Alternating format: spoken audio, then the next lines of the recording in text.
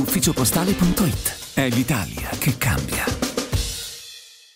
Io credo che innanzitutto faccio i complimenti ai ragazzi perché vincere contro una squadra come Latina, al di là della prestazione che in certi frangenti poteva essere migliore di quella che è stata offerta, soprattutto per quello che ha detto bene lei, la capacità di, di chiudere le partite avendo delle possibilità e soprattutto magari con meno egoismi in certi frangenti da parte di, di, degli attaccanti, in modo che si possa essere un po' più tranquilli perché poi è un attimo eh, andare in difficoltà e, e rischiare anche in, in, superiorità numerica, perché poi subentra un aspetto psicologico.